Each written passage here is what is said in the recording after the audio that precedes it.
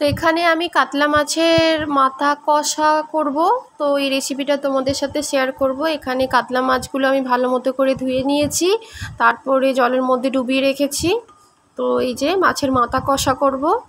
এই রেসিপিটি আজকে তোমাদের সাথে শেয়ার করব। এখানে মাছের মাথার উপরে আমি মশলা দিয়ে নেব। এই যে নুন, হলুদ আর লঙ্কার গুঁড়ো যেগুলো ফ্রাই করার জন্য দেয় আর কি। তো গ্যাসের উপরে একটা কড়াই বসিয়ে দিয়েছি। কড়াইটা গরম হয়ে গেছে আমার। তো এখানে মশলাগুলো আমি ভালো মতো করে মাখিয়ে নিয়েছি। কড়াইটা গরম হয়ে গেছে, এবারে দিয়ে দেবো সরিষার তেল। তো সরিষার তেল দিয়ে নেব। তেলটা গরম হয়ে গেলে আস্তে আস্তে আমি মাছগুলো ছেড়ে দেবো।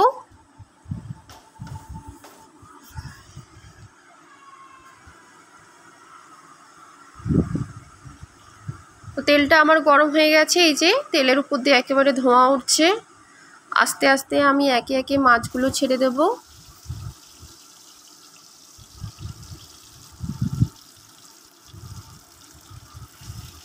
যে সব মাছ একে একে দিয়ে দেবো আমি।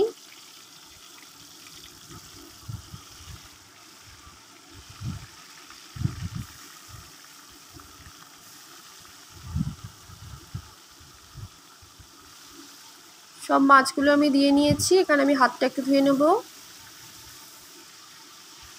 তো মাছগুলো আস্তে আস্তে করে ভেজে নেব। আমি কিন্তু মাছটা বেশি ফ্রাই করব না, এক পিঠটা আমার হয়ে গেছে, উল্টে দিয়েছি। আমি মাছ ডিপ ফ্রাই করি না, কারণ ডিপ ফ্রাই করলে আমার একটু কেমন যেন ছিবে ছিবে লাগে, সেজন্য মাছ সবসময় আমি হালকা ফ্রাই করি। তো আস্তে আস্তে এবারে আমি মাছগুলো তুলে নেব, হালকা ফ্রাই আমার হয়ে গেছে।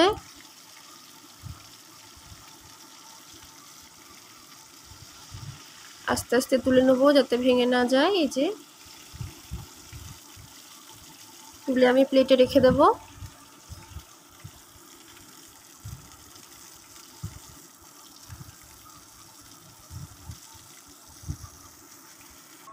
মাছগুলো আমি সব তুলে নিয়েছি আর এই একই কড়াইয়ের মধ্যে, এই গরম তেলের মধ্যে আমি দিয়ে দেবো শুকনো লঙ্কা তিনটে আর তেজপাতা দিয়ে দেবো আর রসুন থেতো দেবো। এই যে দিয়ে নেড়ে চেড়ে নেব একটু।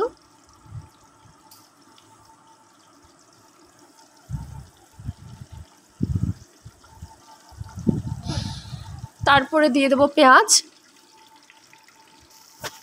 পেঁয়াজ আমি দিয়ে নিয়েছি। পেঁয়াজটা লাল লাল করে ফ্রাই করে নেব। পেঁয়াজ আমার ফ্রাই হয়ে গেছে, এবারে আস্তে আস্তে আমি মশলা অ্যাড করব। তো এখানে দিয়ে দেবো হলুদের গুঁড়ো। দেব লঙ্কার গুঁড়ো। আর দেব টেলে নেওয়া জিরে পাউডার। আর দেবো ধনে গুঁড়ো। দিয়ে একটু মিক্সড করে নেব। তারপরে দেব নুন, কারণ নুন মাছ ফ্রাই করার সময় একটু বেশি করে নুন দিয়েছি। অল্প একটু নুন দেব। তো এবারে জল অ্যাড করব, নাহলে মশলাটা পুড়ে যাবে। তো জল দিয়ে নিয়েছি আমি, এবারে মশলাটা ভালো মতো করে কষিয়ে নেব, যাতে মশলার কাঁচা গন্ধটা চলে যায়।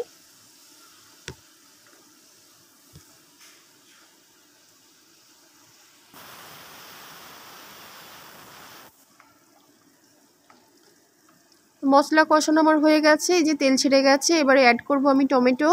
এখানে বড় সাইজের একটা অর্ধেক টমেটো এইভাবে ছোট ছোট করে কেটে নিয়েছি, কেটে আমি দিয়ে নিয়েছি।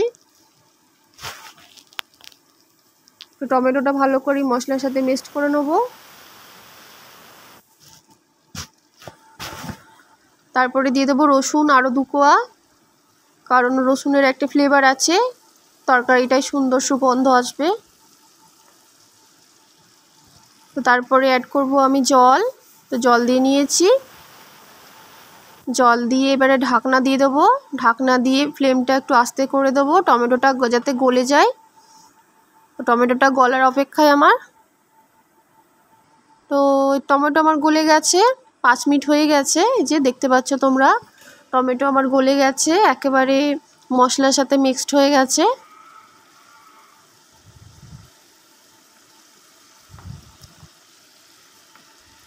এবারে অ্যাড করব জল।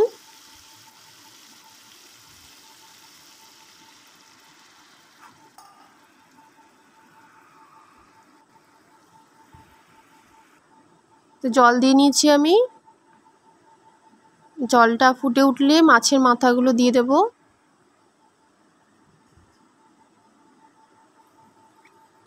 এখানে ফ্লেভারের জন্য আমি কিছু জল ফুটছে আমার। আর ফ্লেভারের জন্য কিছু চেরা কাঁচা লঙ্কা দিয়ে নেব। এটা ঝালের জন্য না ফ্লেভারের জন্য। তো চেরা কাঁচা লঙ্কা আমি দিয়ে নিয়েছি। এবার অ্যাড করব আমি মাছের মাথাগুলো। মাছের মাথাগুলো আমি দিয়ে নেব ঝোলের উপরে আস্তে আস্তে।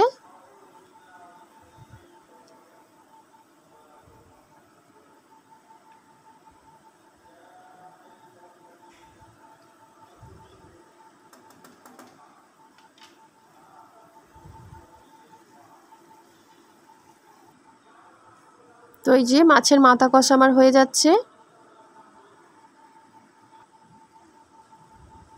এখানে একটা মশলা অ্যাড করব এবারে। এই যে ব্লেন্ডারে আমি একটা মশলা গুঁড়ো করে নিয়েছি। এখানে আছে ধনে, জিরে আর শুকনো লঙ্কা।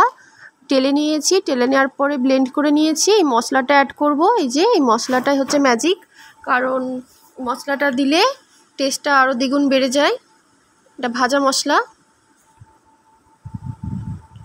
নামানোর জাস্ট পাঁচ মিনিট আগে মশলাটা অ্যাড করব আর মশলাটা জাস্ট হালকা মিক্সড করে নেব ঝোলের সাথে, তারপরে পাঁচ মিনিট পরে নামিয়ে নিতে হবে।